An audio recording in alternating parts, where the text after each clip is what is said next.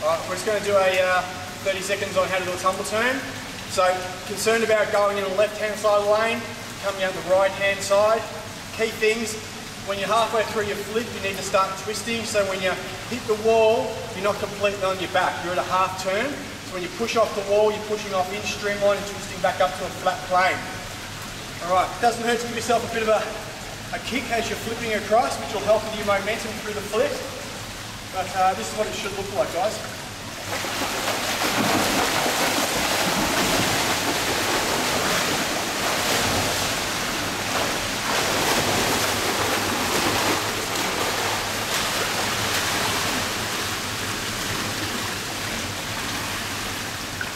So nice and quick, off the wall a bit of power, into streamline, and back into your stroke. It'll save you about three or four seconds a hundred.